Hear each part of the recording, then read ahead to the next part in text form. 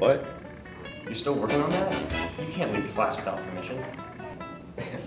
Watch.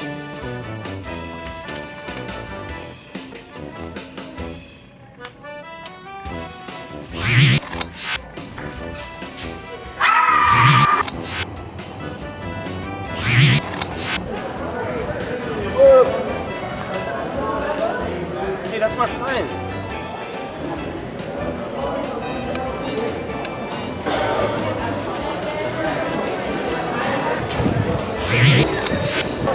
Whoa, where'd he go?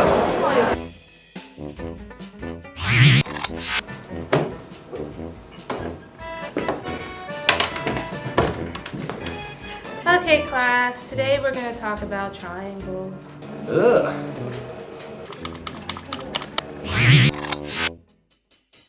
There are nine different types of triangles, but only seven really exist.